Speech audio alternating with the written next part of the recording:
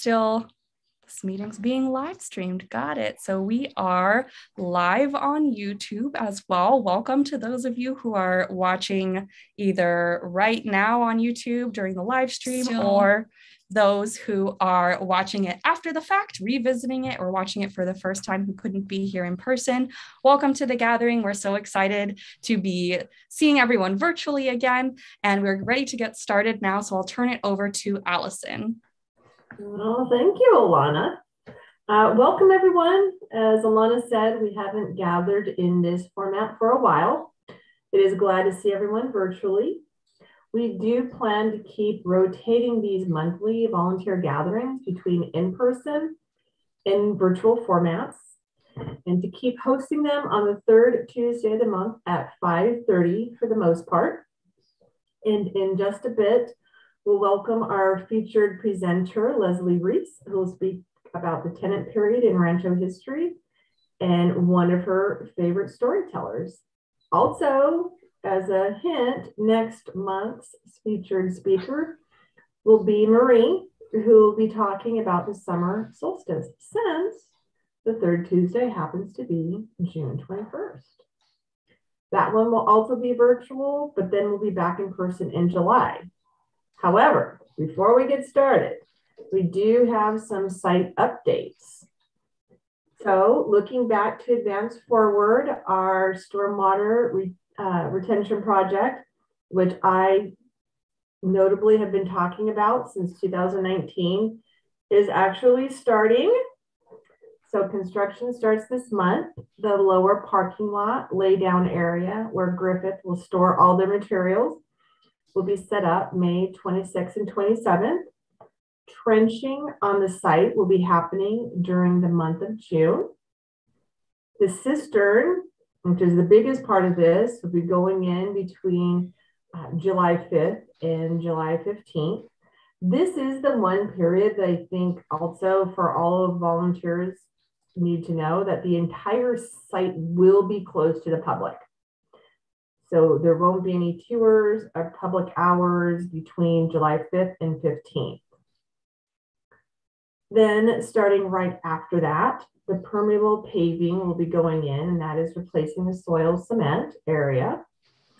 And then the pavers in front of the visitor center. That should all be completed, you know, fingers crossed by the end of August.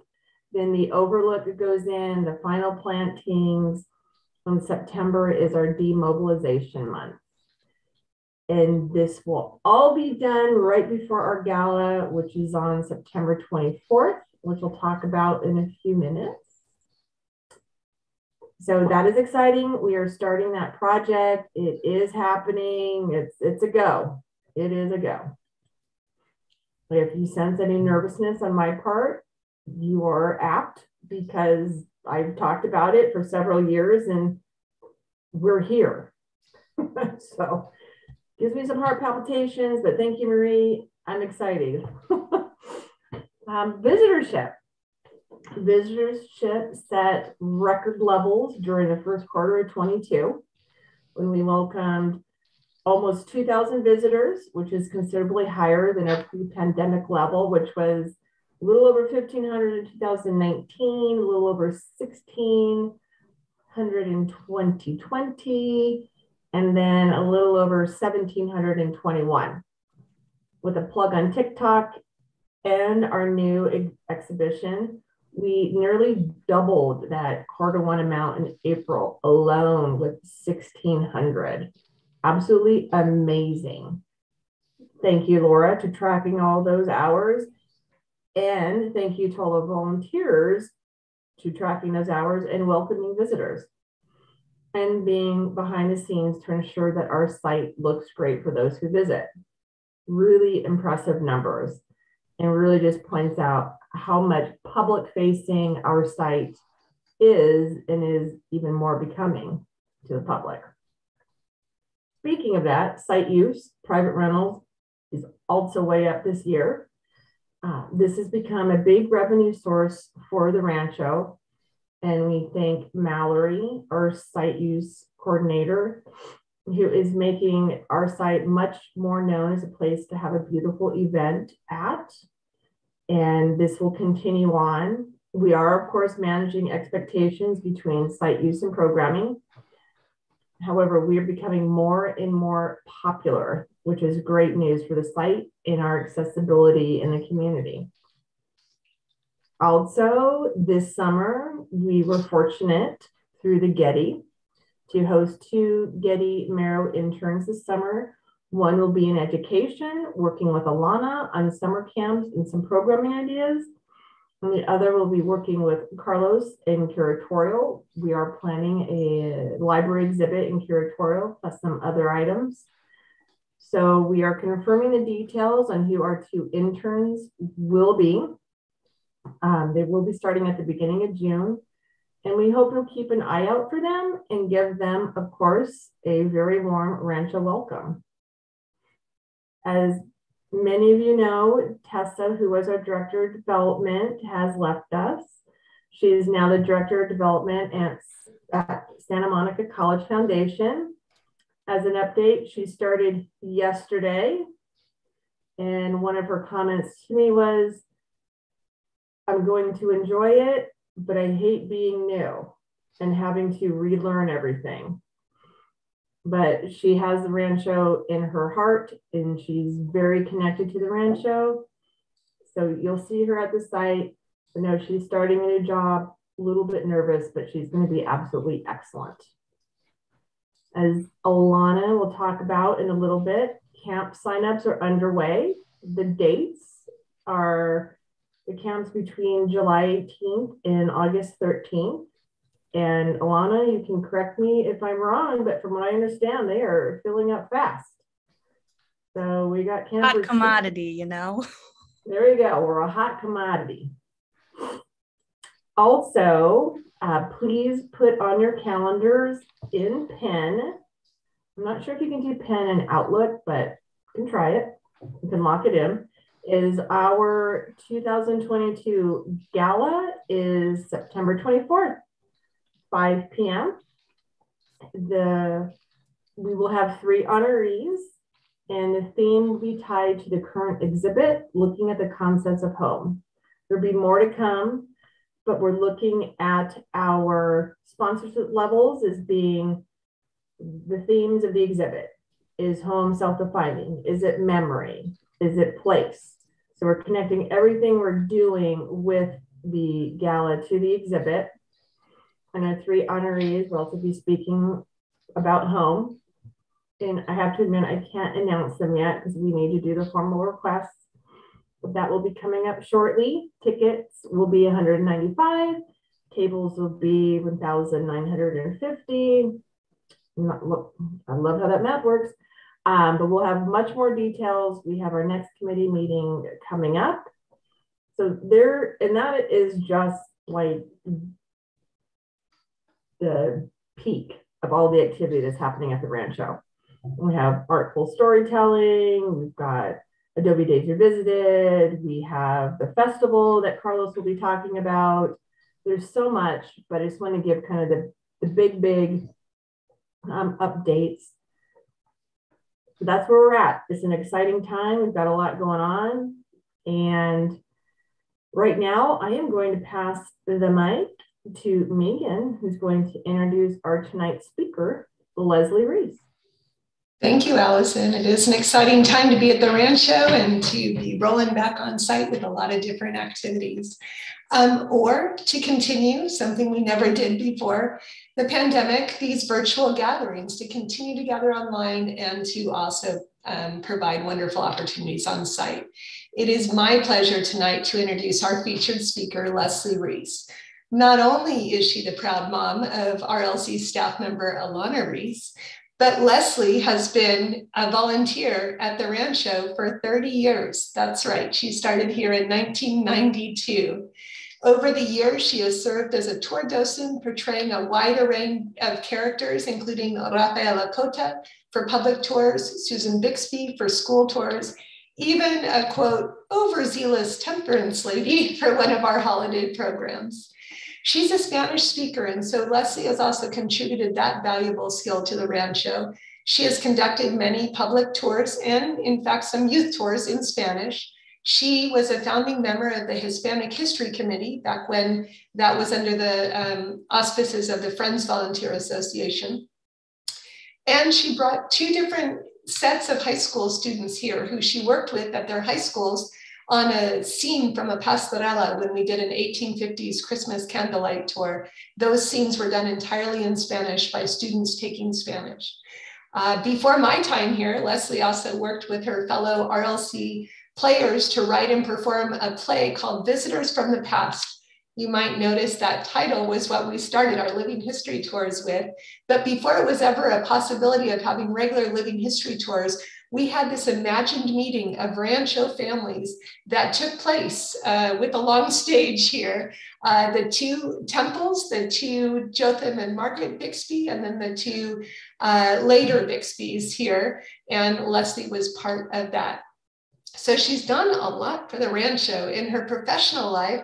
Leslie is a professor emerita from Cal State Long Beach in the teacher education program and also the leadership development department. Here, uh, for those two departments, she taught courses in diversity and equity in education and in qualitative research methods. Her research has focused on areas of linguistic minority rights, culturally responsive pedagogy, and literacy development among Spanish speaking children in both the US and Mexico. And all of that good research has resulted in the publication of over 50 different research articles and book chapters.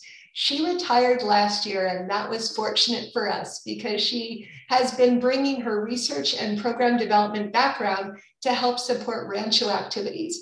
Over the past year or two, she has served on the DEIA committee, that's the Diversity, Equity, Inclusion, and Accessibility Committee. She's been working on uh, creating a Spanish tour training for future docents, more on that later. And she's been assisting with archival research on the oral histories from the tenant period. And that's what we've brought her here to speak about tonight. Leslie will discuss this uh, period and promises to share some of the stories that didn't make it into the exhibit. Uh, stories about ghosts and dungeons and buried treasures, and especially about Mike Murillo, uh, Uncle Mike to Concepcion Coronado Liera, uh, who is quite a storyteller and has become one of uh, Leslie's favorite characters at the Rancho. As you listen to her presentation, I hope you'll put questions in the chat, whether you're listening on Zoom or listening on YouTube.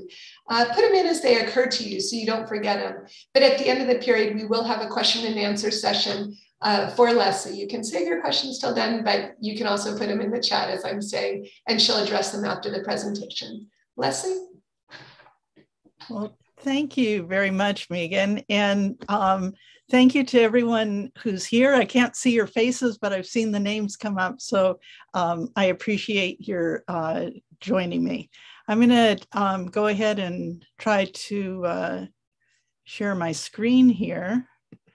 Um,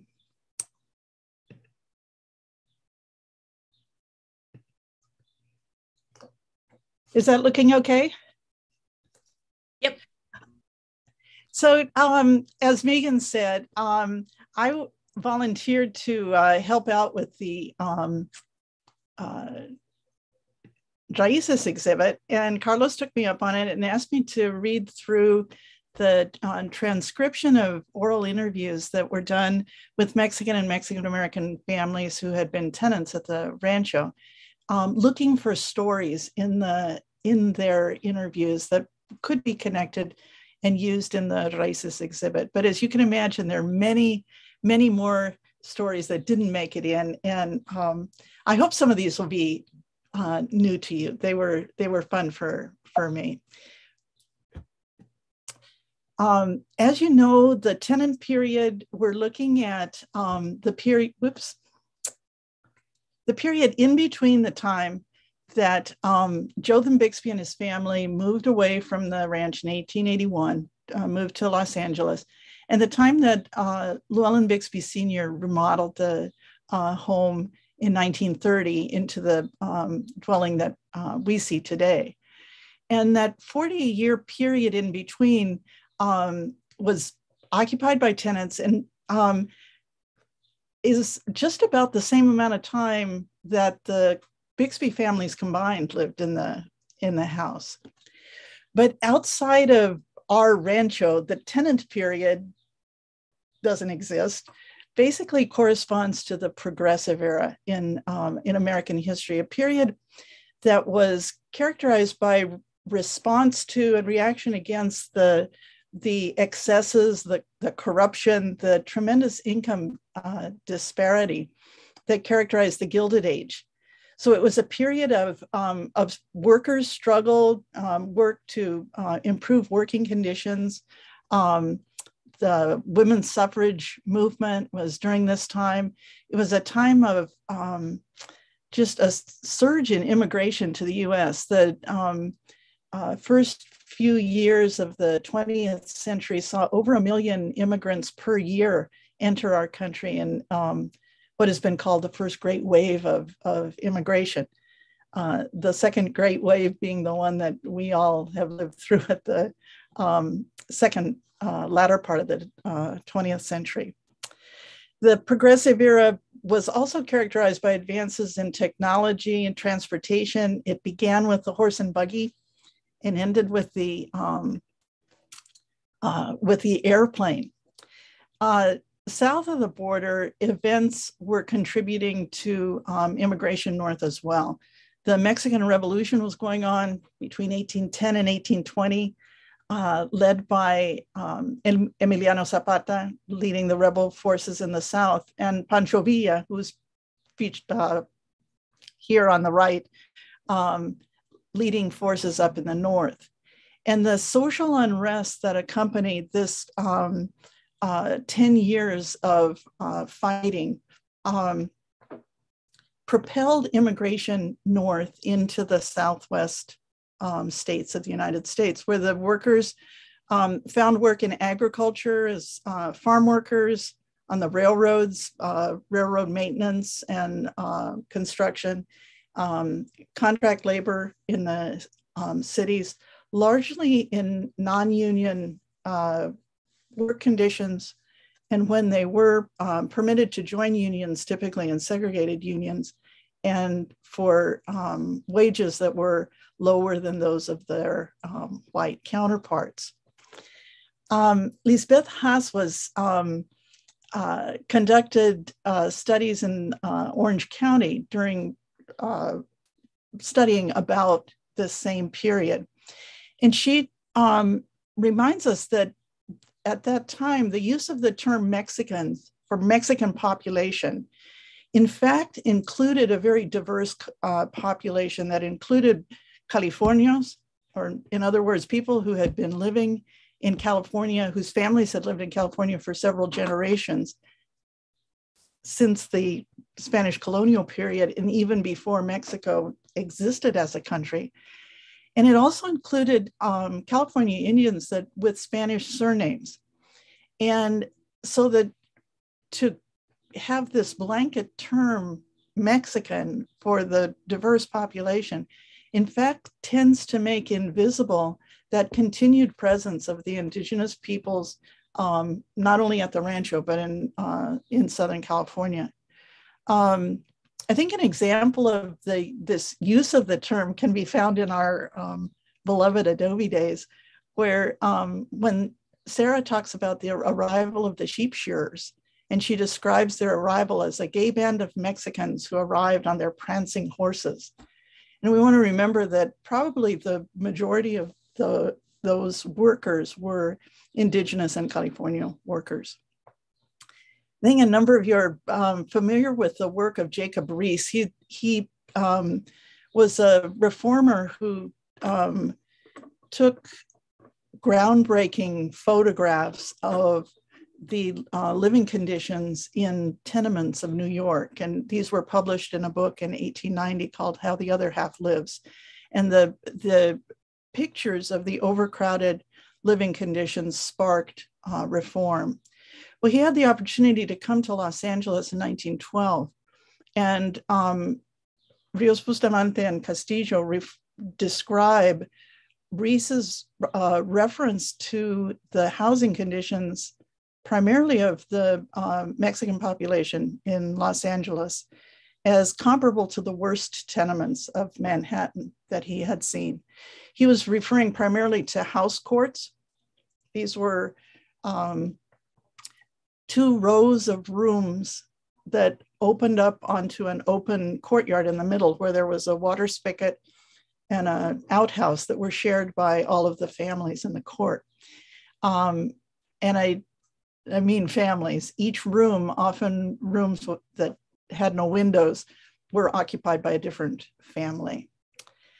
So all of these trends that I've just talked about very briefly, the um, in, urbanization, immigration, advances in technology, the housing and work conditions that were available to Mexican and Mex- Mexican American workers, and the, this diversity of the population. All of these trends are reflected in the Rancho stories. And so, you know, I invite you to, you know, kind of keep these in mind as we move to look at what was going on at the Rancho. Um, the sheep ranching didn't stop the moment that Jotham Bixby and his family moved away. Um, that the ranching operations continued on. Uh, George H. Um, stayed uh, uh, as manager of the ranch until 1890 when he moved to his home on La Linda Drive, not far away. But um, in her monograph, Iris Engstrand um, states that this period saw um, financial difficulties for the um, Flint Bixby company. Some of the their investments were not as financially um, uh, viable as they once had been. The, the, stagecoach line, their investment in, in sugar beet production, and so the decision was made to sell or lease parcels of Rancho uh, property. Um, and some of these parcels then became um, the cities um, that grew up on uh, Rancho land, Long Beach, Clearwater, that became Paramount, Signal Hill, Bellflower, uh, and Lakewood. Um, and Long Beach was marketed as a seaside resort at this time uh, and saw tremendous uh, population surge. Um, this was the time when the uh, the plunge was um, was built, the pier, the pike. And Clarinda Bustamante Carter describes what going to the beach was like in those early years. She says, Mother rented a little wagon and the whole family got inside. In those days, they had about 15 or 20 wagons there, and you could rent them for 10 cents a piece for two hours. You ran them out in the water, and they had kind of a cover on the wheels, and you had your bathhouse right there, and nobody would see you because in those days, the women never showed their bare legs. Another one of the parcels um, ended up uh, under the initiative of um, Earl Daugherty, um, ended up as the uh, first inland airstrip in Long Beach. Alfred Valenzuela described how this came about. He said, My dad had the ground leased and he used to run cattle on Will- Willow and Long Beach Boulevard. So Daugherty says, I'll give you so much for the lease, Paul. And then he says, Well, I'll sell it to you. And he gave him so much. He says, I want you to clear the land for me so I can put my airport in there. You can clean it out with horses, you know. And to me, this idea of an airstrip being cleared out by horses is kind of shows the the um, contradictions of this uh, t- uh, tenant period the map here on the on the right shows the Bixby Knolls area um, during the 20s. Um, the adobe house is right here. This is Long Beach Boulevard and then Bixby Road. And so Daugherty's airfield uh, was established in, 18, in 1919, right there on the corner of Long Beach Boulevard and Bixby Road, and existed there until it was until it moved in 1924 to where the municipal airport is today. This map also shows some of the other parcels, the ranches that were still in operation during the, during the 20s. The Mitchell Andrews Ranch uh, up here in the north. This is the one that's um, in the photograph that you see there. That was a, a dairy, uh, dairy ranch, and they had a cheese factory up there. Um, the King Ranch down here, the Wardlow Ranch on Wardlow Road, and then right where Bixby Knolls is was the, the Bean Ranch. Aurelio Arias uh, contributed a written memoir that's in our archives. His family was one of the ones that came up from Mexico during the period of the revolution when Aurelio was a small boy. And he described um, the families arriving in the, uh, in the area and looking for work. He said, We lived for a few months at the Hickok farm. There were about six families living in one barn. It was converted into a shelter for all of us. We lived in the winter in the crowded barn, and in the spring and summer, we lived in a tent on the Davis farm. Well, how about at the adobe itself? The, um, the photograph there on the left shows the adobe during the 1890s. So this is um, maybe 12, 10, 12, maybe 15 years after Jotham Bixby and his family had moved out. And you can see that, you know, the house has not been regularly whitewashed. And so the um, decay is, um, is already starting. Um, between 1894 and 1906, William Boyle ran a, a dairy operation at the, uh, at the ranch house. He had 150 cows and employed about a half a dozen milkers, one of whom was Bert Carter, who then married uh, Bustamante, who we heard out uh, from earlier. When the dairy operation uh, moved to a new location eastward, um, later tenants at the uh, in the house said that um, the what we refer to as the work wings were completely empty, just dirt floors. And I know the picture here is dark on the right, but perhaps you recognize uh, the room that uh, is depicted there. If you're thinking uh, blacksmith shop, uh, you'd be correct. Uh, all you see there is remnants of the forge. We have a timeline of residents, and I know that uh, Laura's been working on updating this timeline for us. Just a few of the um, tenants that are listed on the timeline include Juan Lopez, uh, lived for um, about seven years. He was the foreman of a crew of Mexican workers who um, were contracted out for a variety of jobs, um, often uh, doing what's called topping the sugar beets. Uh, on the left, the Ricketts family is uh, appears in that photograph. They were um, spent a couple of years at the rancho, and one of their children was actually born at the um, at the ranch house. Um, during the uh, between 1910 and 1919, Ramona Lopez Garcia ran a boarding house on the second floor of the of the adobe house, and the she's pictured in the photograph there on the right. She's the one on the horse, uh, and the note in the archive says that the family members who donated the photo didn't know who the other two people were, and they believed that this photo was taken at the Pike. Um, Alfonso de Cigaran um, did contribute an, uh, an interview. He was up almost, uh, almost 90 years old when he was interviewed. And he described living in the rancho during this, this time. He came and originally stayed with a relative of his, um, Bill Lurg, whose family was um, living in the master bedroom. Alfonso the first, um, when he first arrived, slept on a pallet in the corner of the room. And then later, he and his wife occupied what he called, he referred to as the little girl's bedroom. So I'm not, I'm not real sure which room that might have been, but we see that same pattern of, you know, one family per per room of the house. The the tenant who was probably the longest at the rancho was Miguel Murillo, um, who is referred to as Uncle Mike by um, his relative uh, Julia Murillo Coronado, was Concepcion's mother. And so then all of Julia's children also called him Uncle Mike. Um, Uncle Mike was born in 1830. And he said that he started breaking horses and working as a ranch hand when he was 14 years old at the rancho.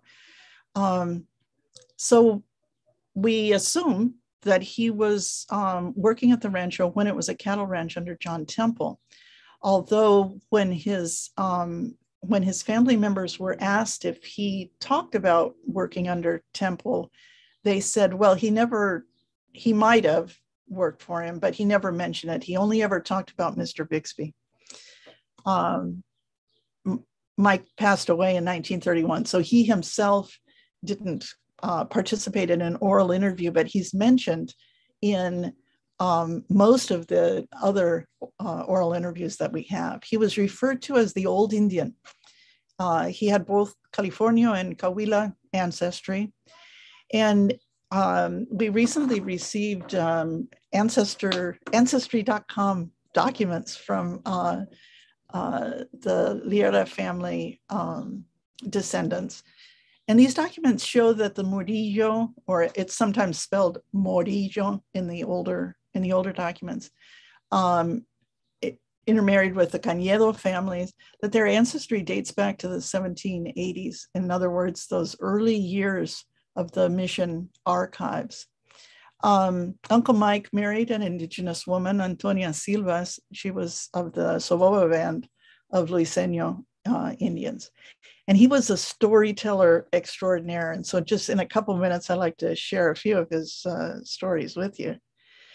But he, um, in 1921, he moved out and he told his his relative Julia about he uh, that she should come. She should bring her family to live in the in the adobe, and so she did.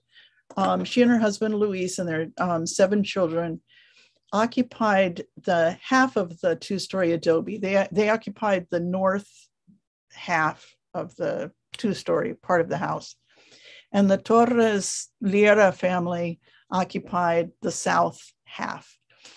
Um, I think we, I think we've all heard the stories of um, the wedding of Manuel Liera and Concepcion Coronado. She, she says that she, she met uh, Manuel when she was, well, actually, she said she was nine years old, but I believe she was 13 years old. Um, it was her job to go to the Virginia Country Club and bring back water in a pail. And that was when she first saw um, uh, her, Manuel, her, her future husband. Um, her brother, Frank, whom we'll hear from in just a moment, um, uh, conducted an interview at the um, at the ranch house, and he was up on the balcony that overlooks what's now the 1930s um, great room, and he said this was this was where their um, wedding party took place. He said the old timers called that room Temple's Salon de Baile or ballroom, and and then he kind of shook his head and lamented the fact that it, it didn't exist anymore. It had been taken out to make that high ceiling. Um, the both um, Concepcion's father and her brother Frank, as well as Manuel, worked at Virginia Country Club. And I don't know if you can see it on your screens, but this uh, in this center photograph, this is on the left is the is the adobe, and this is probably right around 1921. Um, this is the uh, Rancho Adobe, the trees in the back garden, no, no fence or anything. Oops. Ah.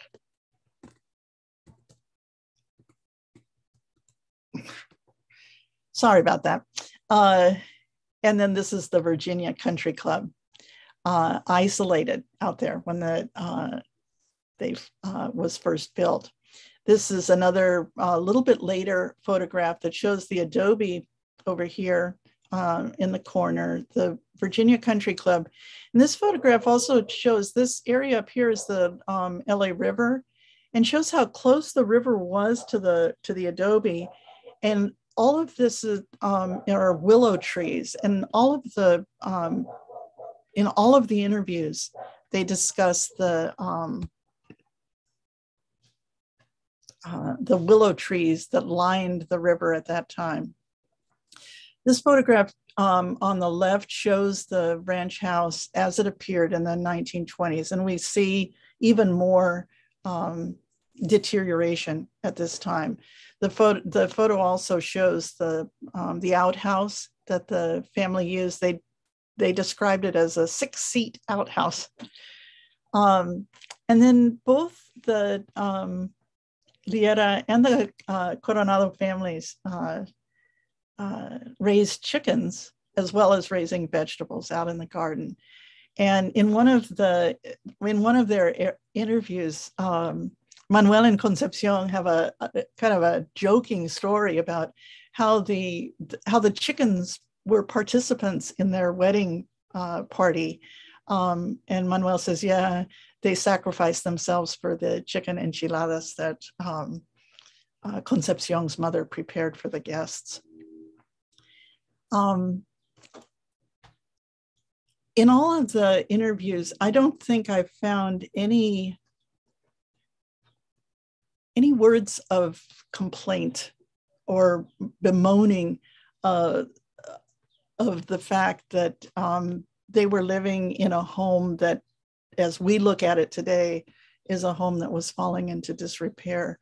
Rather, the um, the interviewees were very um, matter of fact, accepting and moving forward with their lives. One one example is um, when they were talking about um, their um, health and home remedies, and they were um, the Lieras were asked um, if they saw a doctor, and they said, "Well, we we called a doctor when um, Concepcion was ready to give birth, but the doctor didn't arrive in time, and so Manuel delivered the baby."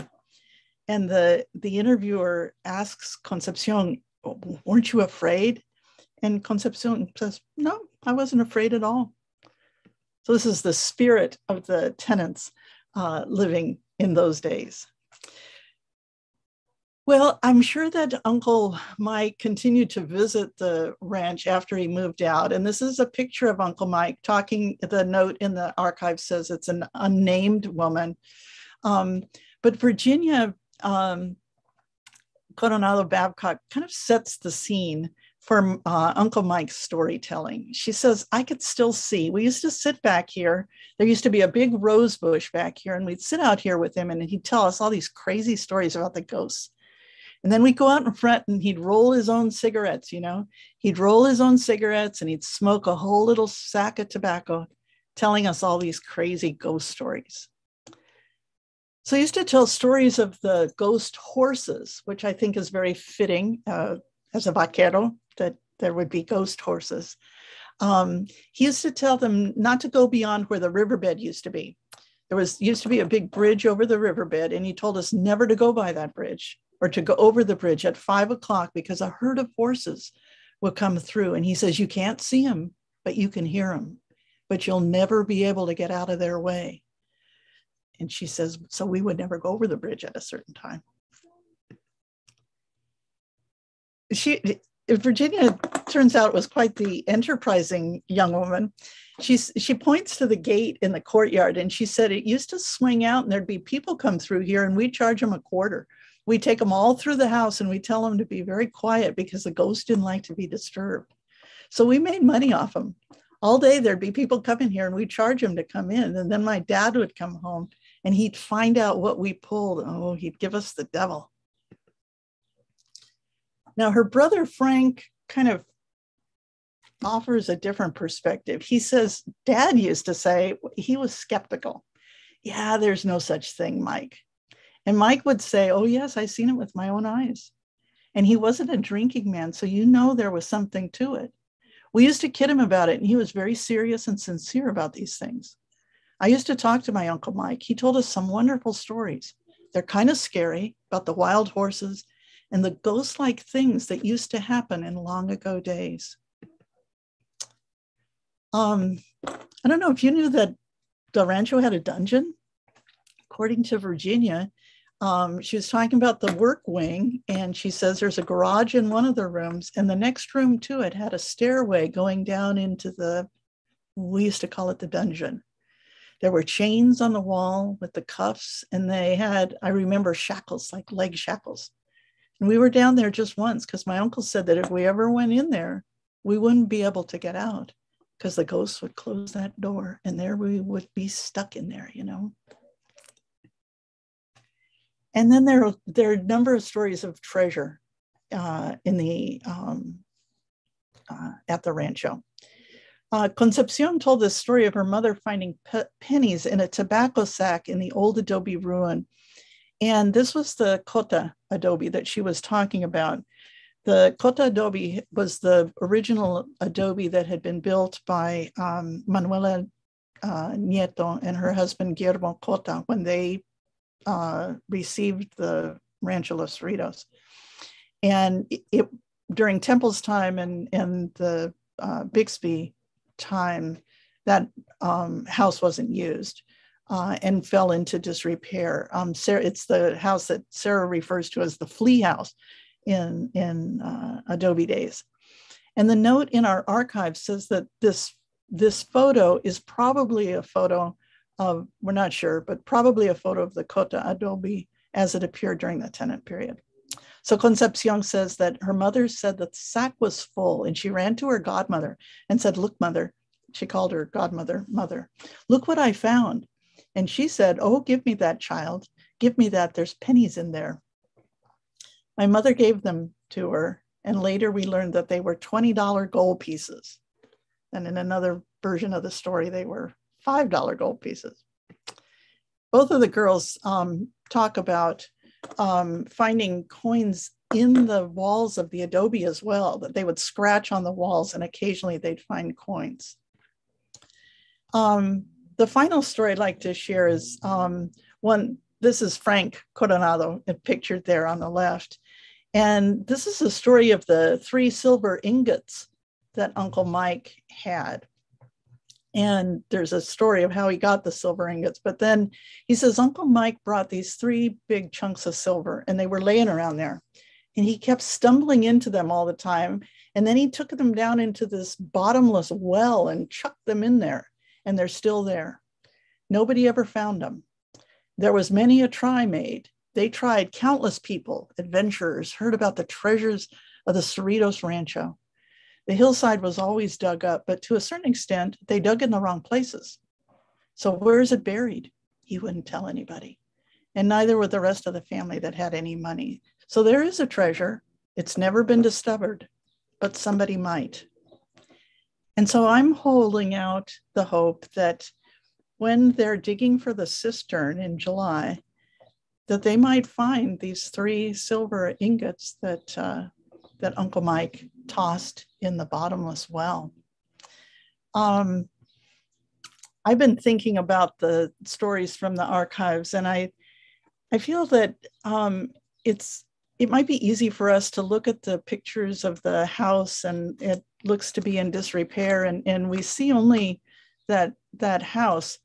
But as the people tell the stories, we see that it's also a house where they live alongside ghosts and it's a place of imagination and a, and a place of possibility where who knows treasure could be found this last picture is a picture of um, manuel and concepcion as they're doing i think this is the interview that they did in the early 90s you can tell that they're there in the library uh, frank said uh, when i retire i'd like to write a book about the things i know I would remember a lot because those things die. You have to have somebody start that little ember that burns a little bit, start it up again, and you start remembering those things.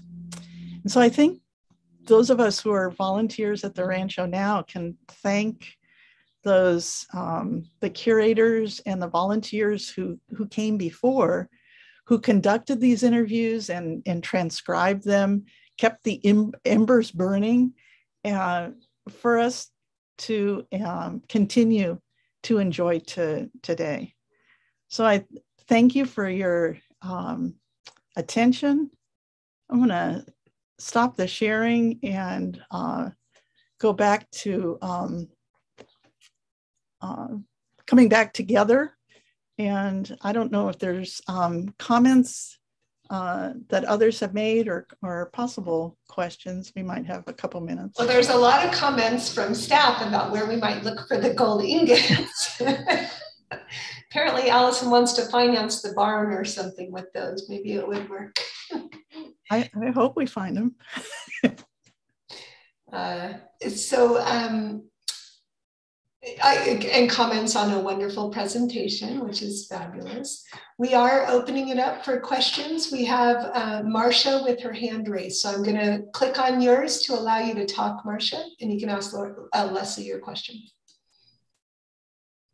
Me, moms with long-term yes.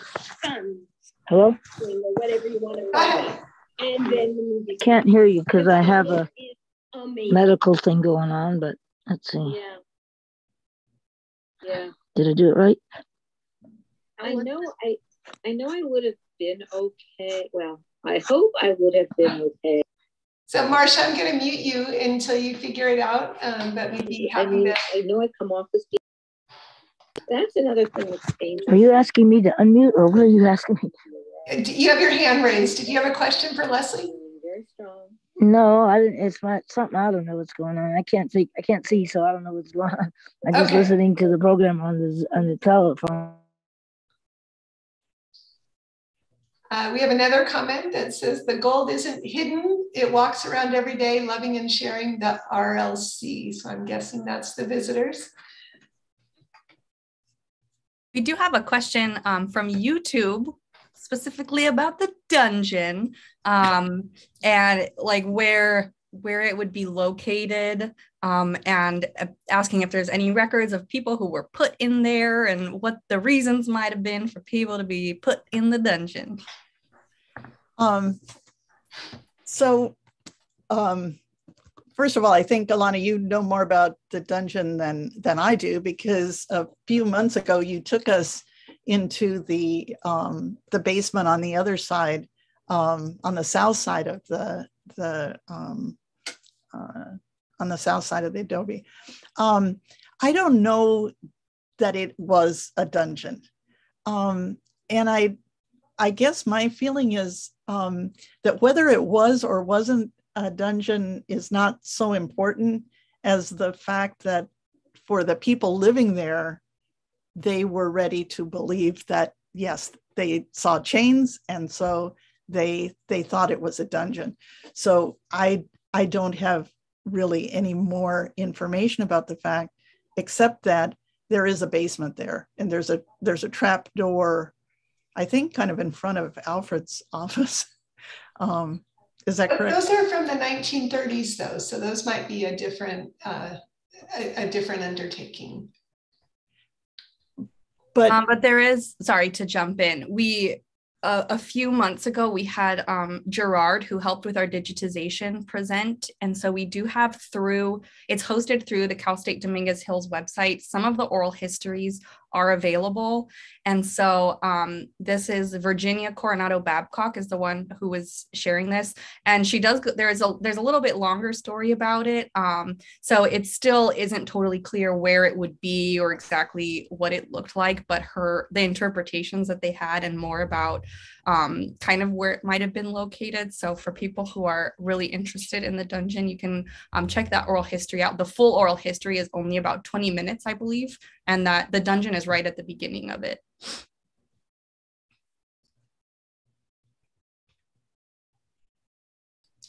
Somebody wants to know if there's chains in the collection. uh, no, uh, you know, the chains also appear in the ghost stories. Um, people here. uh, Uncle Mike talked about the chains being dragged up the uh, up the steps of the of the house, and that you could hear the the chains. So uh, I don't know, you know, uh, if what really what was uh, what was down there.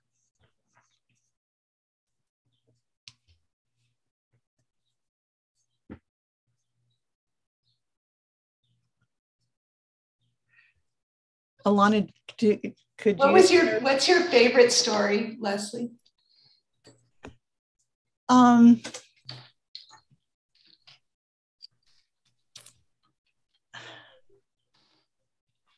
I don't know. I um, I guess my favorite one really was um, when Frank talked about his dad and his dad saying, "Ah, Mike, that that didn't happen," and and Uncle Mike's insistence that yes, I saw it, and I'm I'm telling this um, I'm telling this this story. So these were not not fantastical tales that were told about others, but they were very personal stories that he he saw and he experienced. And so I um, think I enjoyed that. Um, Someone asked if you would clarify uh, two families living upstairs, no one downstairs. Um, the I believe the um, the Coronado family lived. They where the dining room is today was there um, when she was um, asked about it. Uh, Concepcion said um, she was asked if that was the dining room, and she said, "Well, yes, but more like a living room." She said that we we didn't have a sofa, but we had benches, and that's where the family gathered. And then they used the the bedrooms upstairs. On the other side, there's um, reference to the Torres family downstairs, and Mrs. Liera's maiden name was Torres. So I think that they were living there. And then when Manuel and Concepcion um, uh, got married, his parents were upstairs and they moved out, and the Manuel and Concepcion lived uh, upstairs. And Manuel went ahead and built a wooden sink for Concepcion so that she could cook. Uh, she could have her kitchen area upstairs um, on the south side of the of the house. So there seemed to be a kitchen on either end, right, for different yeah. families. Yeah, Concepcion said that her mother had. Um, she was asked if Concepcion was asked if she baked, and she said, "Well, she didn't have an oven." And so I assume that she had kind of like a probably a kerosene stove, so she could she could prepare food. She said my mother had had an oven, and she was the one who baked.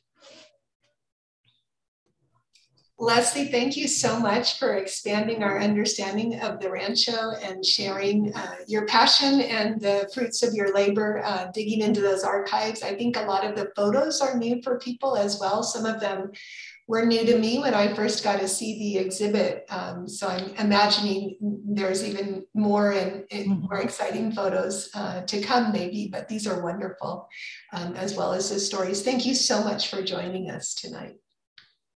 Huge round of applause. Uh, next up is Carlos, who is going to tell us um, about an event coming up on June 4th and 5th. All right. Thank you all very much for uh, being here today. Um, and thank you, uh, Leslie, for a wonderful insight into the, that important time, time period and history of the rancho. Um, so I'm, I'm here to give you a little bit more information about uh, the Getty Center, the Getty Festival. So the Getty Center up on the 405 is celebrating its 25th anniversary this year. And they are, partner, they are partnering with community groups across LA to do to launch a different series of free outdoor community festivals. They're doing one in Inglewood, another one is in East LA, a third one in Koreatown. You have Pacoima, San Gabriel Valley, Wilmington, Crenshaw, Watts, and Long Beach. And the one that they're doing for Long Beach, it's in Houghton Park. Houghton Park um, just 10 minutes from uh, the rancho, and it takes place on June 4th and 5th. And that's between 11 a.m. and 6 p.m. And the Getty organizers asked Rancho Los Cerritos to lead uh, the creation of an art exhibition.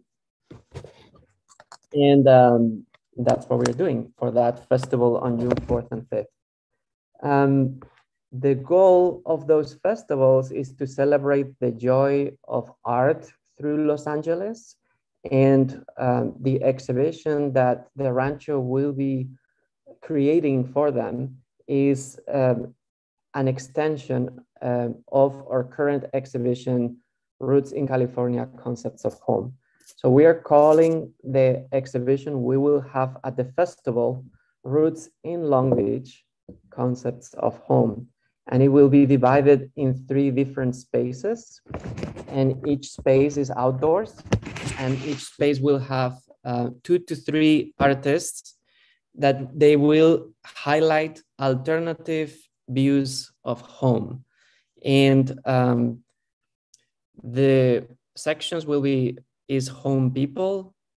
And in that you the artists are planning to we have painters and photographers and they're having portraits of the wide diversity of people living in Long Beach.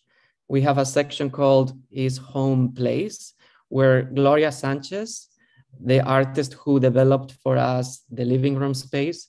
She will be leading that area and she's going to create a throne uh, that will showcase all the landmarks in Long Beach and the ancestry that relates to Long Beach.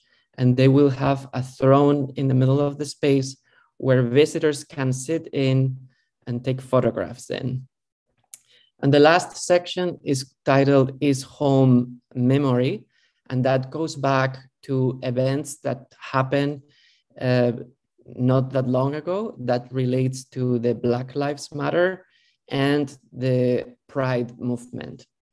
And um, so um, I've been told by the Getty organizers that the Getty trustees will only be visiting one of the festivals and that festival is the one in Long Beach.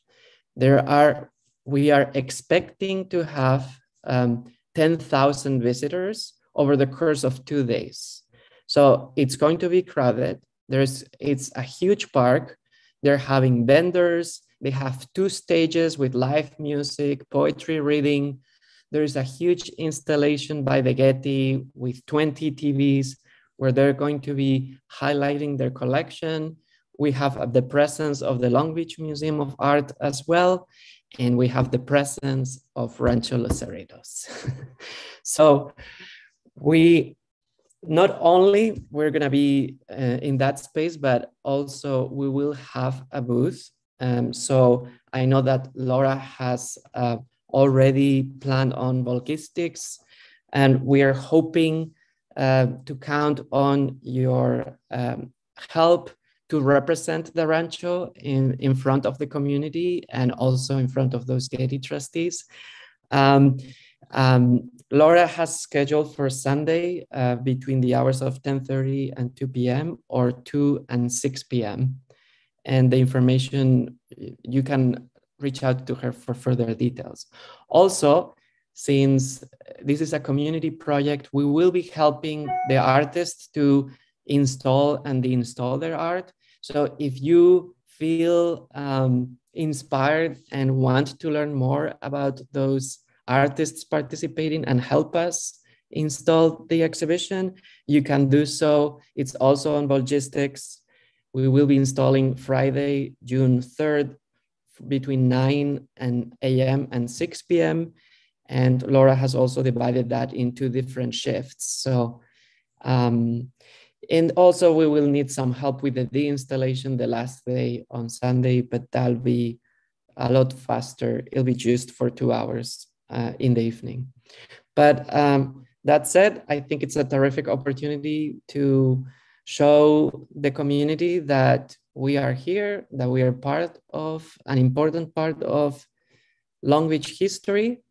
And also they'll be able to see the, the wide variety of artists and stories that we bring to the table. And so that's all. Thank you very much. Carlos, someone asked if all the artists have been selected. Yes, so we have so far eight artists confirmed and two pending.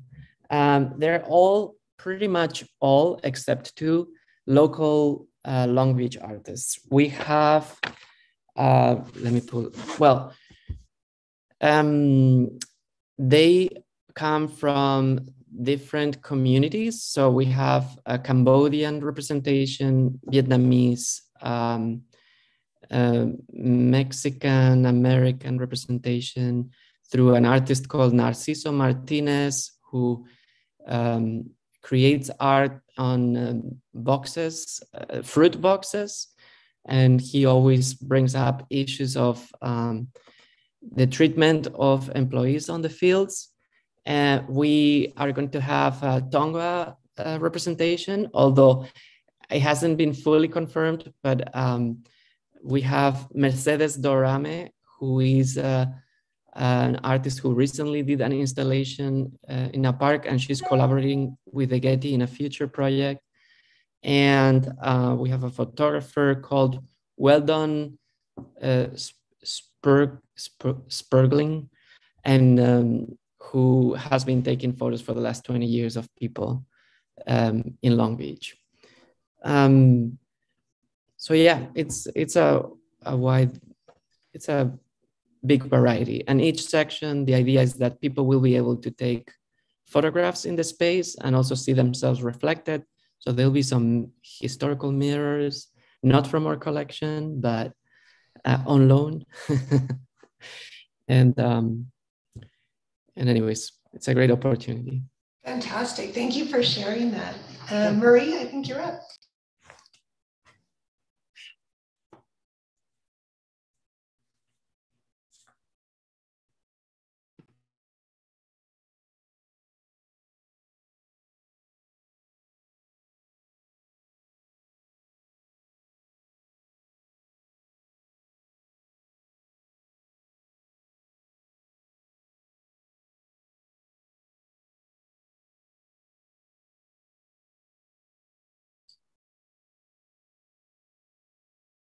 And just unmute yourself.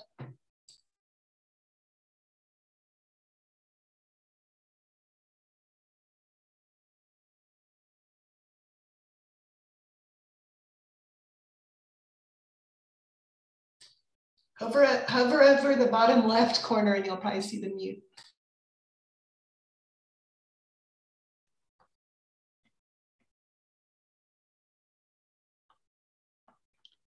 Can you see my screen?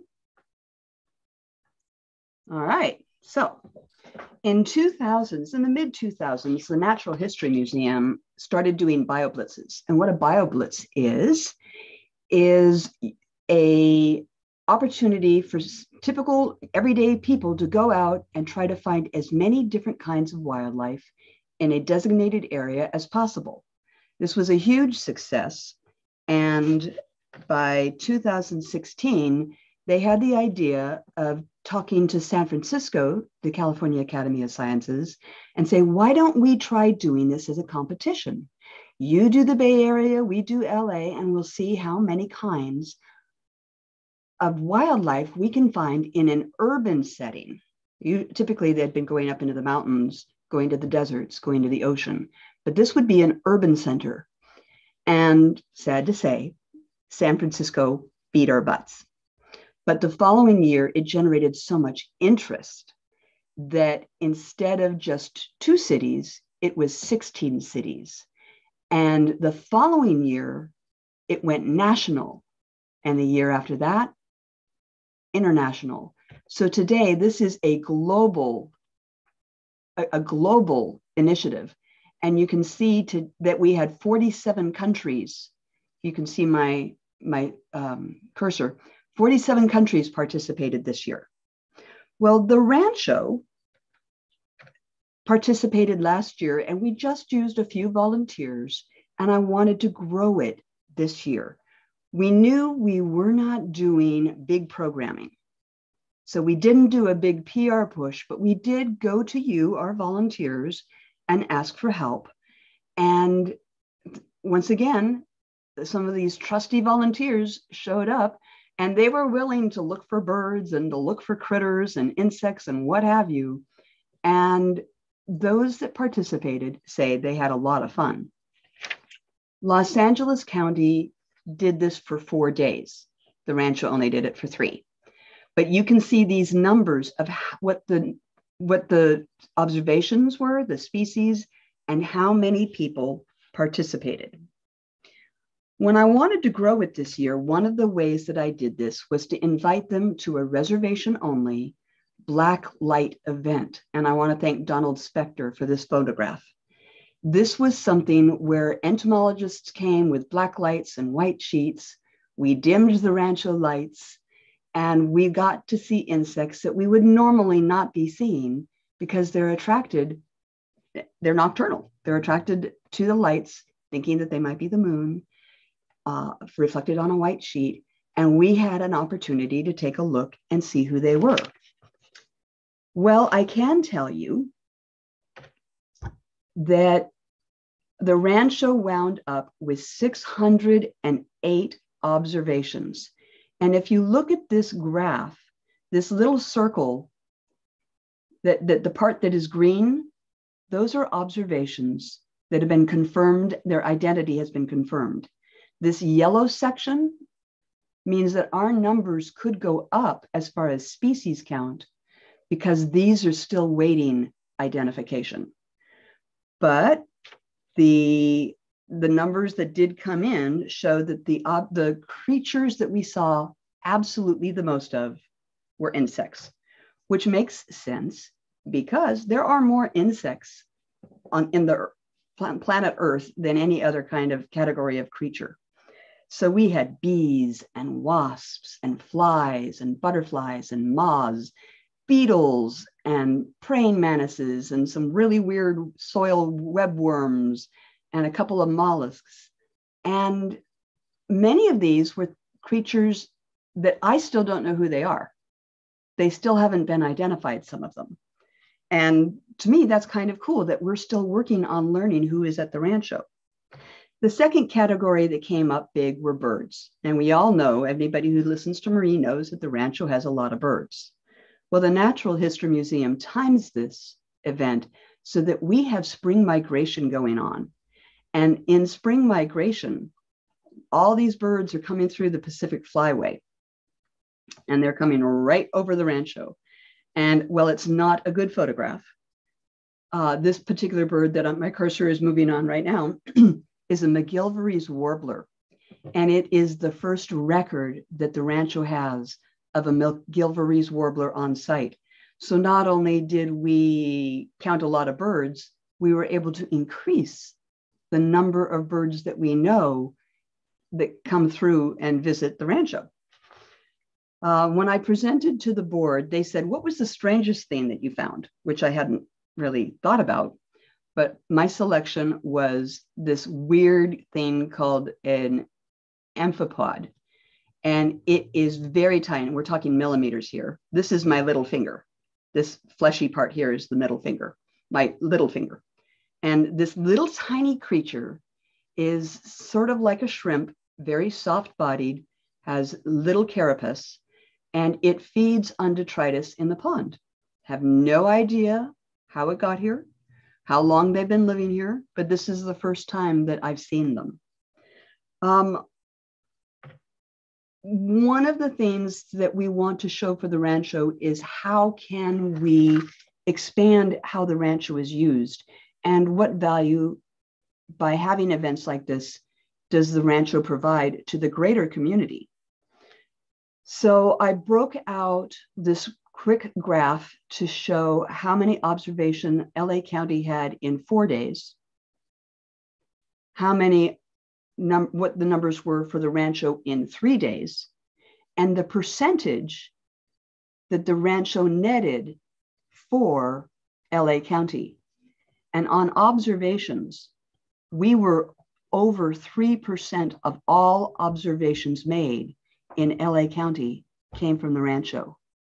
And on the species count, over six and a third of the species counted throughout LA County were in fact counted at Rancho Los Cerritos.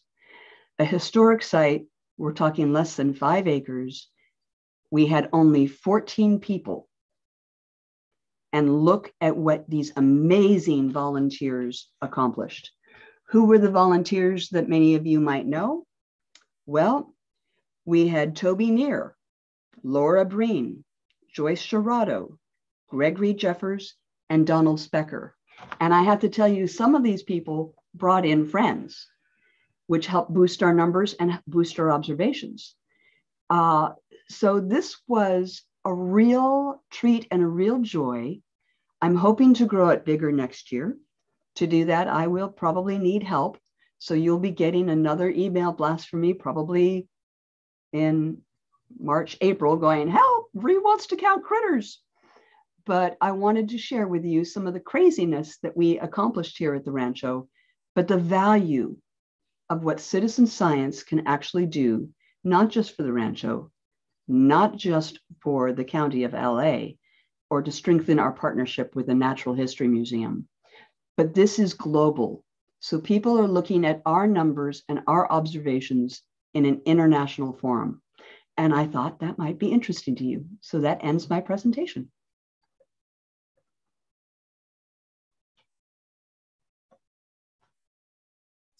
All right, so that means it's time for me to talk to you all about summer camp. And I do have uh, just a little visual to be playing hopefully without sound. Yes, just behind me while I speak.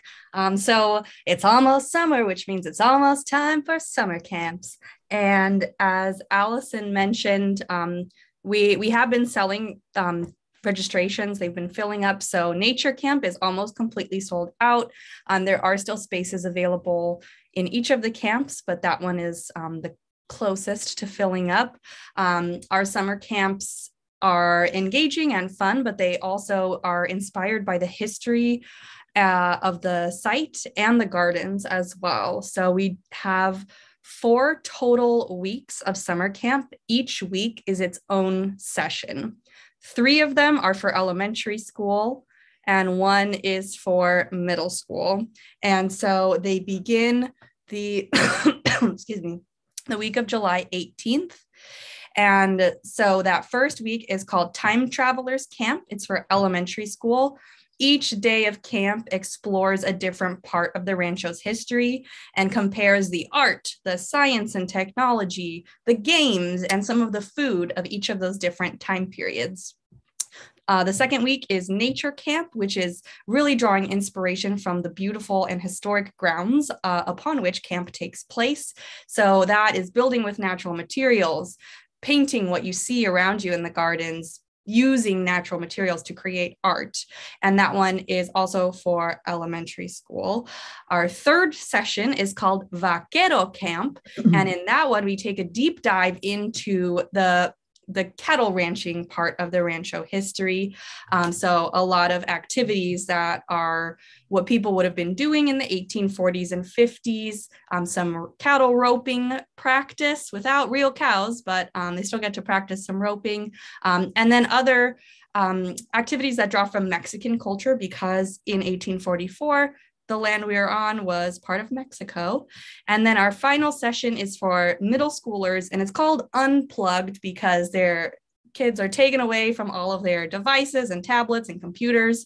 And that again is going to look at the full Rancho history, um, but then specifically looking at the Victorian era and some of those like technological and science advancements that are happening. So it's STEAM, science, technology, what is it, en- engineering, art, and math, but in the 19th century. So, what the modern technology looked like at that time. So that's our middle school camp. All of the camps run from 10 a.m. to 2 p.m.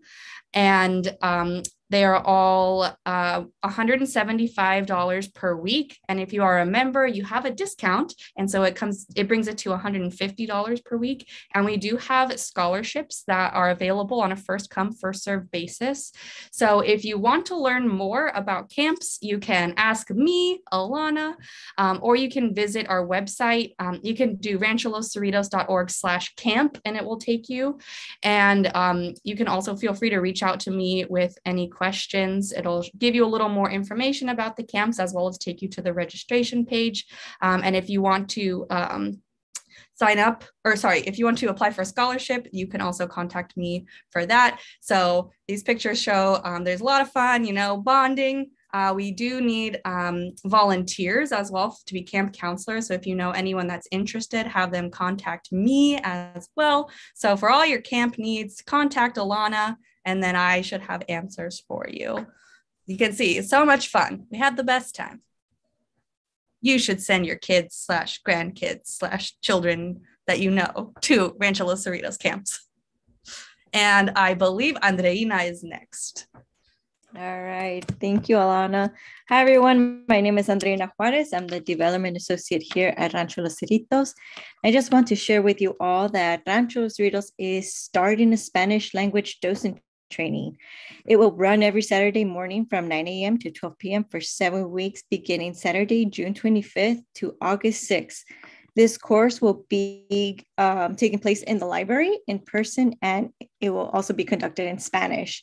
So this docent program was developed by uh, two DEIA committee member volunteers, Leslie, who just presented earlier today, and Giovanna in 2021.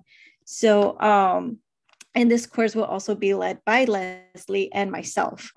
So the format of these tours and trainings will be slightly different from our traditional tours and docent trainings.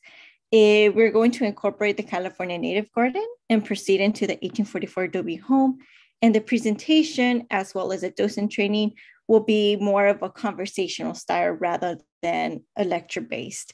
So please help spread the word to any Spanish speakers who might be interested in this training program.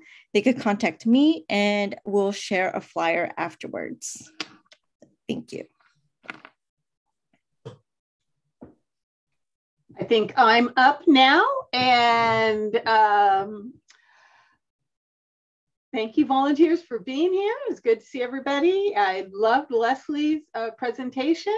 And to the end of growing our ranks, we are having a new volunteer open house this very coming Saturday at the Rancho at 11 o'clock. So if you know anybody that you think might like to get involved with the Rancho, this would be a great time to come and find out what we're all about and be introduced to volunteering. We'd love to have you have your friends or family or whoever.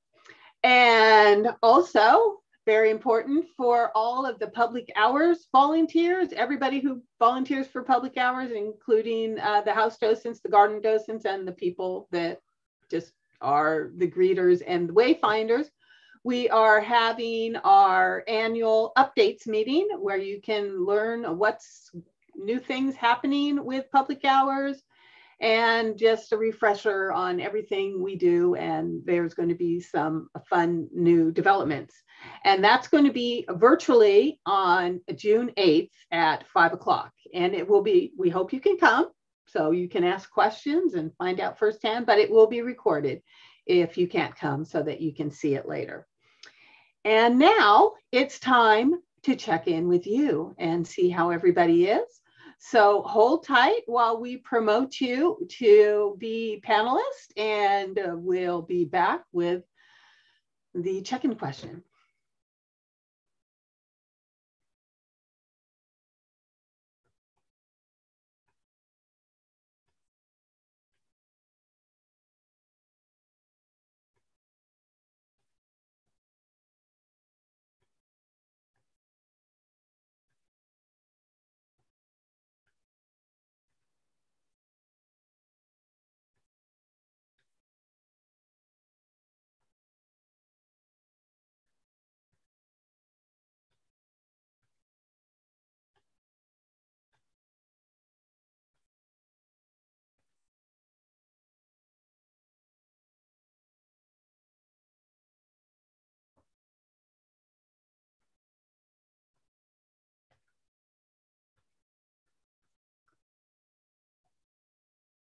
Does it seem like you've promoted everybody you can?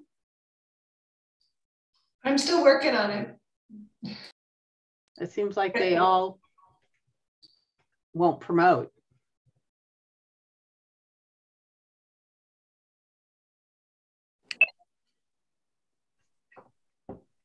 They can always put their comments in.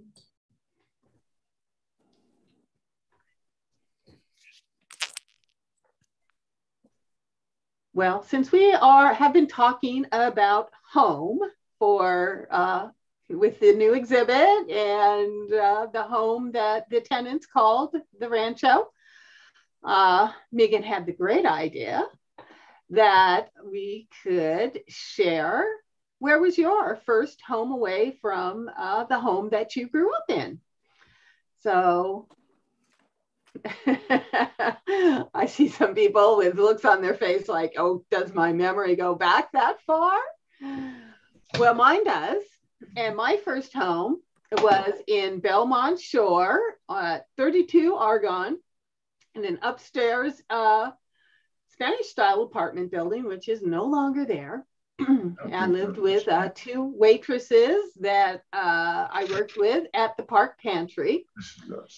And Megan suggested that we maybe think of a funny story. I can't really remember so much from those days, but I do remember one kind of funny story. I was a pretty naive young woman. And uh, when our porch light burned out, I happened to have a red light bulb. And I thought it would be very festive to put that in our porch light. But um, some people let me know that that might might be a good idea for three young ladies to have a red light bulb on their porch. So I took it down, and I learned something, but that there's something called a red light district. So it was quite a learning experience for me. Anyways, so we'll do the pass the mic where I will pass it on to somebody and you will share that those sort of memories from your life or if you can't think of anything whatever it is you would like to share with us and then you will pick somebody to pass it on to. And i am going to pass it on to the person who shares the same beautiful first name as i. I'm so happy to see her here today coming from her new home in seal beach. That's you laura Unmute yourself.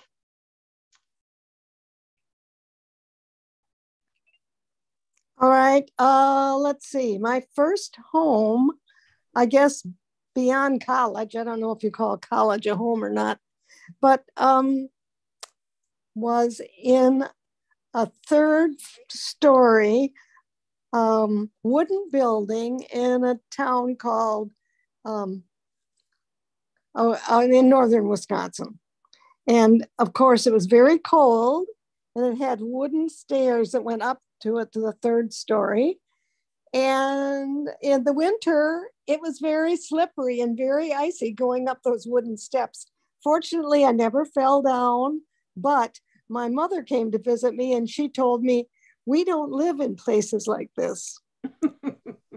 so, so, anyway, that was a story. I lived with two of my former college friends both who had got married during the summer, and all they wanted to talk about was their husbands. And I didn't have a husband, so I had a very um, sort of nostalgic, sad time. Although my boyfriend did come to see me once, but he was in the army, so he wasn't there very much. But that was my first home. Very good. Who would you like to pass the mic to? Oh, I don't know who's there. Who is there? Let's send it to Joy.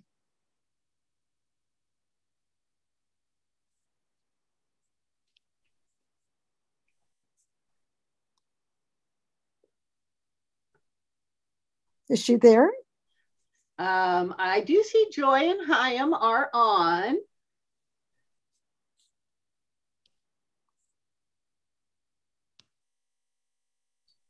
You might share it in the chat, Laura. You might have to pick someone else. Oh, okay. Um, could I see the names again? Oh, there's Carlos and Leslie and Nancy, Marcia. Okay, Carlos.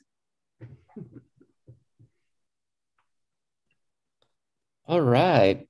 So, you know, you mentioned college, but um, I the last year of college, I actually um, went to Germany, to Berlin, and I studied there for a year and a half.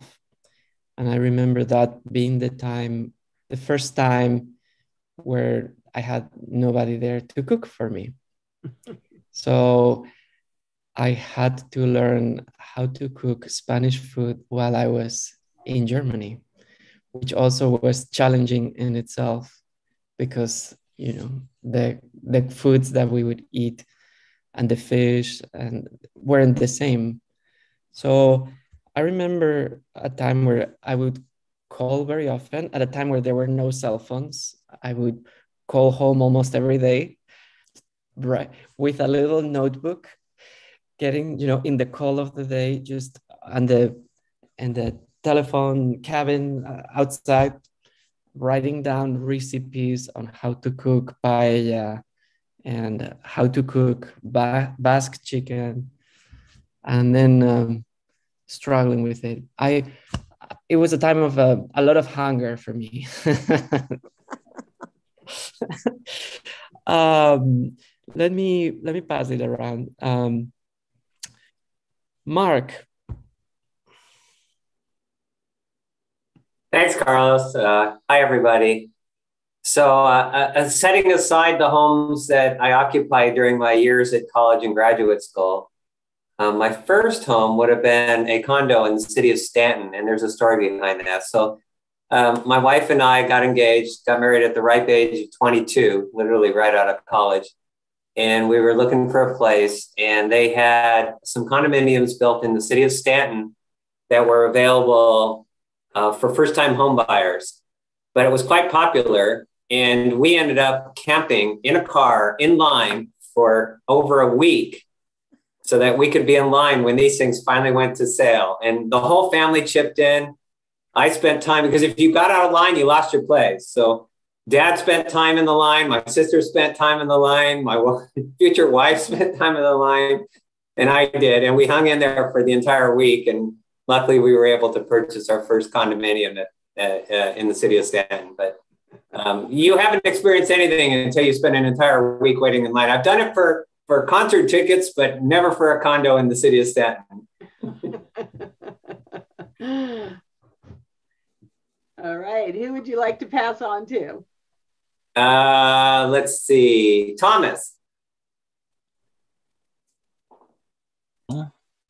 Let's see. My first place away from home was uh, downtown in Long Beach on uh, 25 Falcon.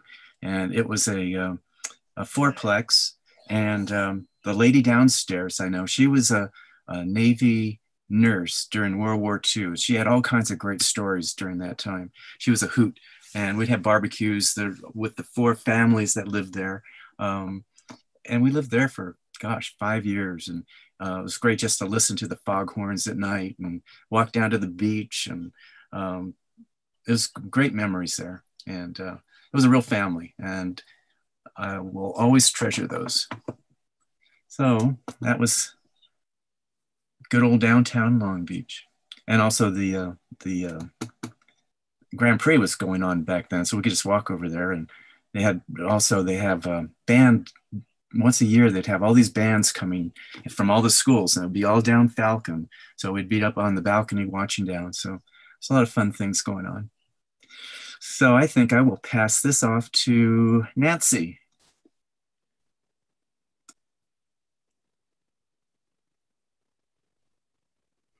Unmute.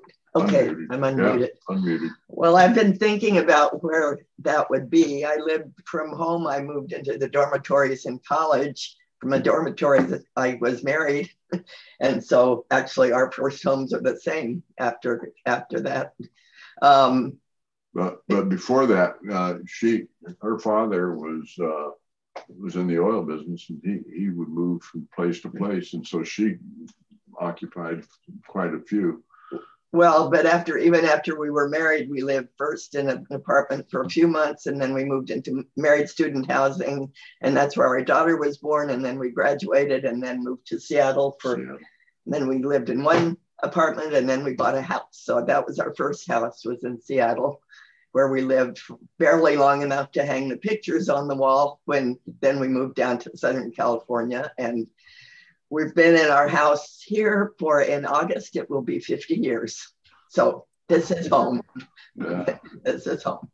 We kind of settled in. Yes, so. we have pictures on the wall, the whole thing. We're here forever yeah. until they carry us out. but uh, no, we settled here in Huntington Beach. We love it. We love our neighborhood.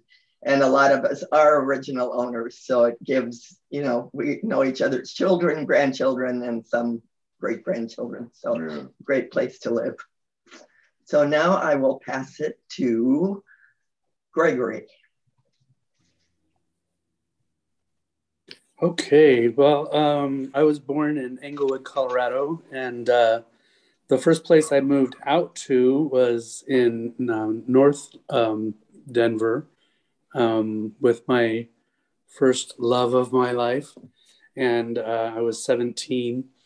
But uh, the first home that I owned was here in Long Beach. It was um, over uh, Bixby Park, overlooking Bixby Park on Broadway and Cherry. Um, I lived there for eight years. That's where uh, I buried my first two husbands. And uh, so, yeah, that was 1980s, late 80s, early 90s. So, um, a funny story, not much funny stories.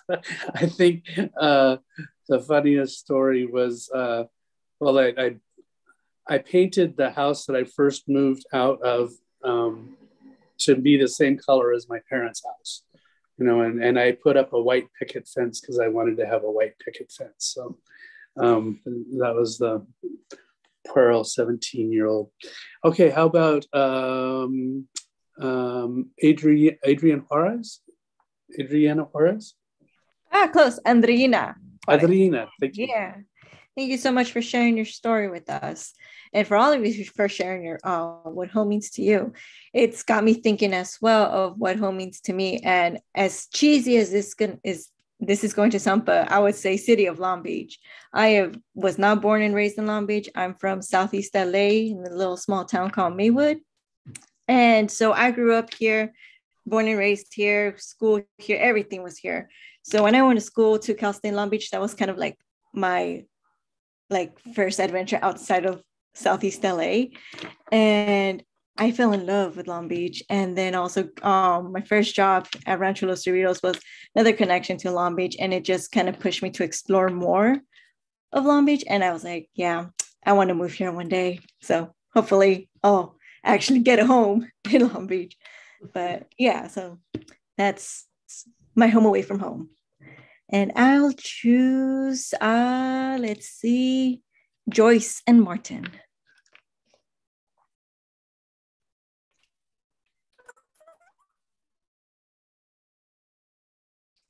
oh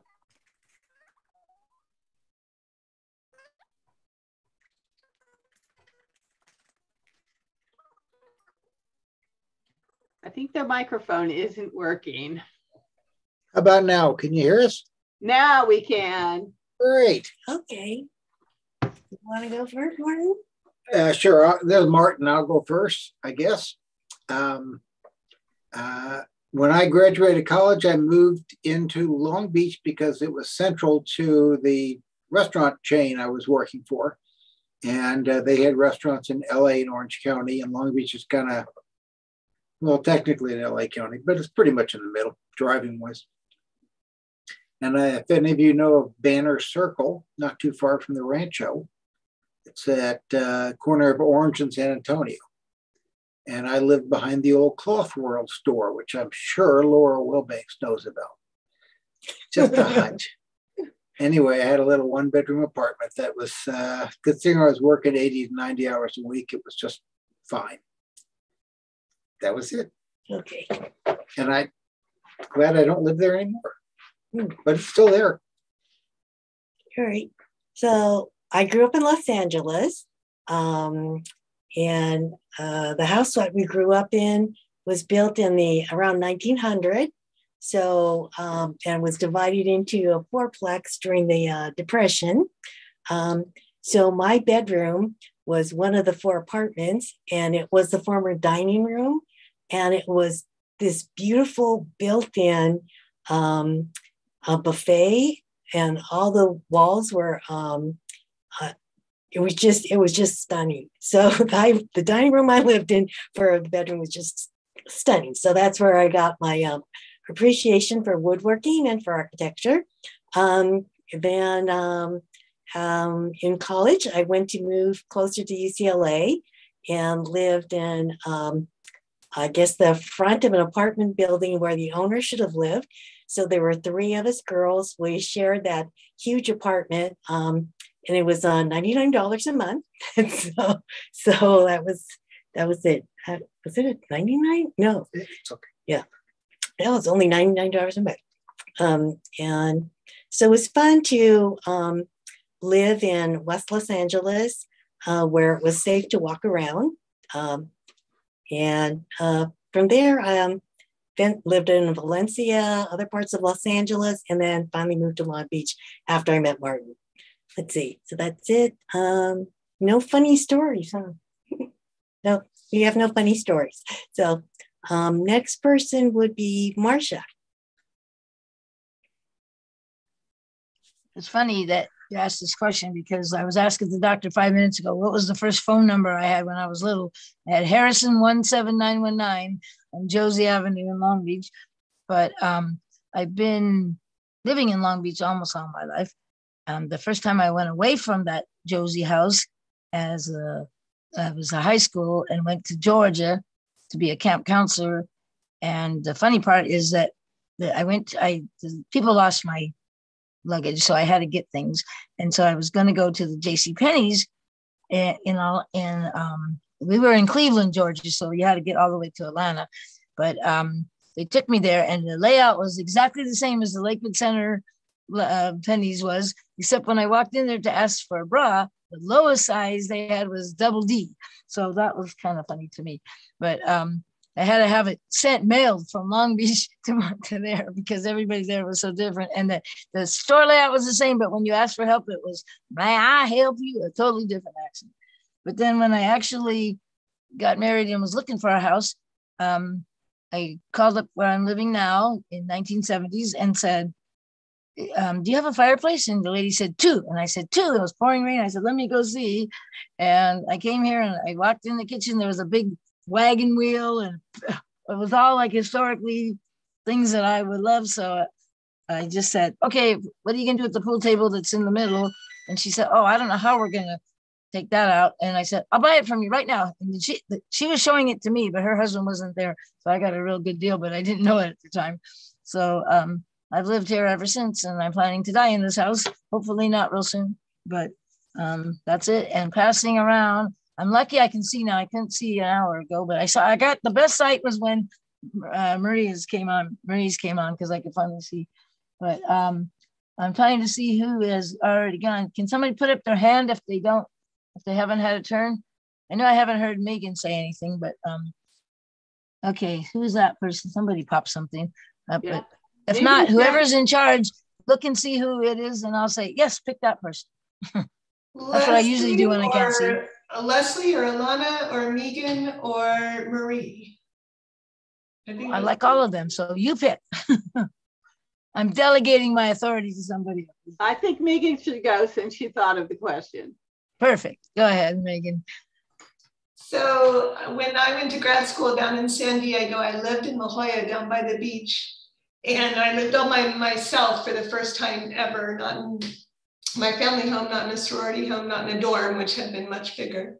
Uh, I had this shoebox and I was, I loved it, but I felt a little uneasy living alone in a bottom floor basement. And one night it was storming and storming and storming. And all of a sudden, I get a loud knock on the door and I look out the little peephole and it's a cop.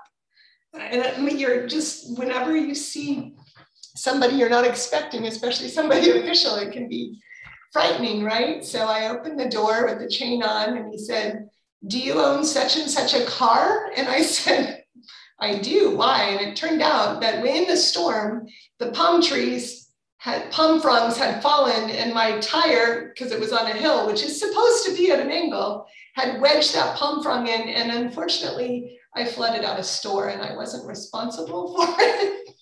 As a graduate student, I wouldn't have been able to afford much. Anyway, there wasn't really anything I could do about it, but it was just that heart sinking moment where you're like, Am I in trouble? Did somebody I love die like you don't know why they're there. And it turned out my car was just in error. Leslie, how about you? Well, I was um, when I thought back, it, I realized I, have a little bit in common with the with the tenant families. Um, my the first home that I lived in out when after I graduated from college was in Peru. I'd gone to do earthquake reconstruction work in uh, Chimbote, and I lived in a one of the few cement houses that survived uh, the earthquake um, in an area that um, had no electricity and no no running water, and um, the we had a, a wasn't exactly an outhouse. It was more like an outdoor pit toilet out in the back of the lot.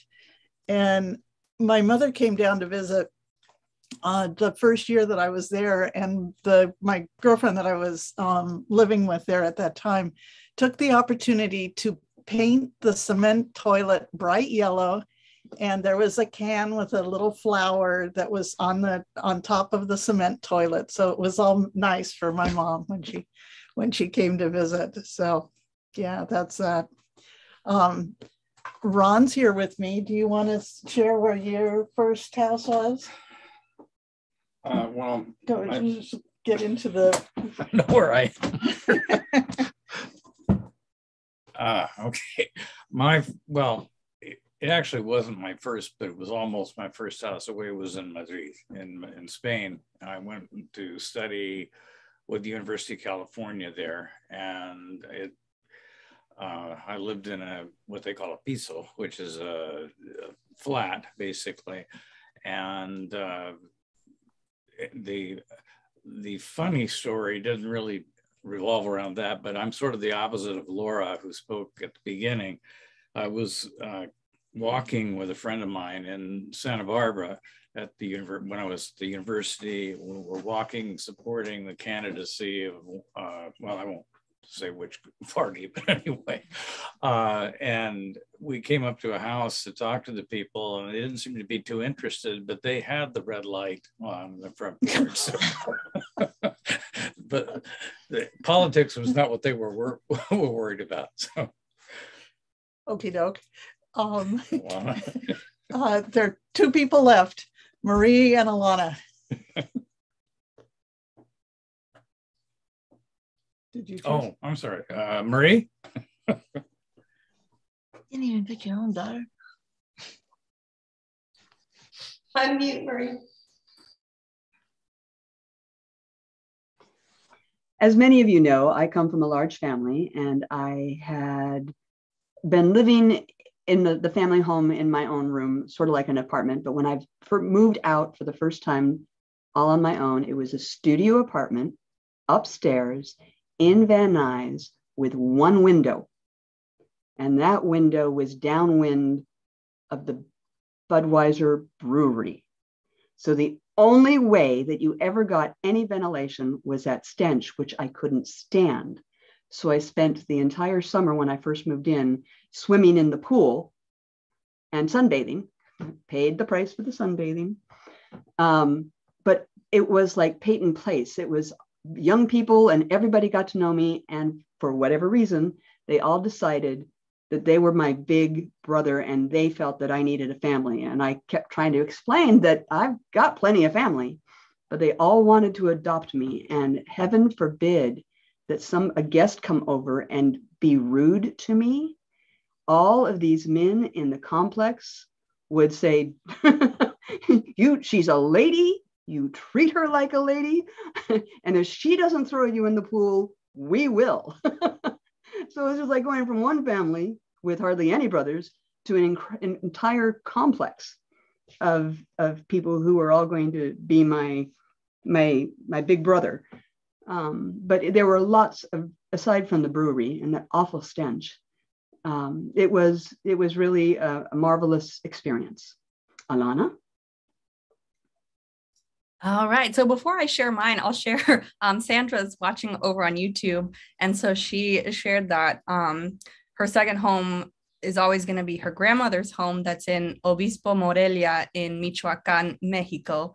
And she said her favorite place was under a tree where she was able to see the cows and she loved sitting there on a nice day. She further said, that she thinks she liked it there because the chickens would not follow her there because they were always chasing her. Um, and then I also was chased by birds as a child. So we bonded over that. And she said, thanks to the chickens, she was able to find that tree and it was a pomegranate tree. So she always got a snack out of being over there as well. Um, so I, I enjoyed that story. Um, and then for myself, I I grew up in a lot of houses. So uh, there, this house where um, Ron and Leslie and I all are right now, um, but also like I was close with both of my um, grandmothers and um, a grandfather and my cousins, and so I feel like I was like almost in their houses as much as mine. Um, and then the first time I went away and kind of made my own home was when I went to college. Um, and it was really exciting and kind of figuring out who I was. But I know the the first time that I really got homesick when I went away to school was the first time I got sick and had to take care of myself. And I was like lying there in bed, like I miss my parents. I have to go to the store all by myself and buy my medicine. So that was uh that was kind of my first home and then after college i ended up coming back here uh, where I am now, back in my childhood home with my parents. So full circle. Just just part of the circle. yeah. yeah. Hopefully it's you're, you're not full circle yet, Alana. I had planned to go out again. Eventually. Just to date, right? it's just part of the arc. All right. I think we covered everybody. Thank you for sharing your stories.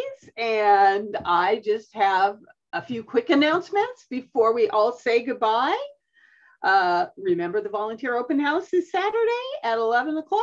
And uh, people who are house docents or school docents, we have a lot of uh, uh special tours coming up. So please check on Volgistics next uh, May 25th. That's Thursday, June 6th, 7th, and 8th. And then June 3, 4, and 5, we have the Getty program, and we need lots of volunteers for that. And remember that the Spanish language uh, uh, training is starting June 25th. Let anybody know that you think might like that. And of course, we still have gardening going on every Tuesday morning, garden crafts, the first Friday of the month. And as always, public hours going on. And storytime readers every Tuesday. If uh, you haven't done it and you're thinking about joining uh, Nancy, uh, Michelle, or Ina in being a storyteller, we'd love to have you. And next month virtual gathering will uh, be on the summer solstice, as we already mentioned. And thank you all for being here and good night. Good night. Hi to everyone. Good night. Bye. Good night. Laura, is this going to be um, seen another way? Like, because I heard it all, but I couldn't see the very few things. So I like to look back. Is it going to be recorded? Yes. Yeah, that. But I mean, but It'll so I could click up. Click on our YouTube, Marcia. It'll be. Yeah, that's what YouTube. I was hoping. Okay, thank you. Yeah. That's what I was. Thanks. All right. Bye. And now I got to find out how to get off. I will end the meeting for everyone now. I hope you all.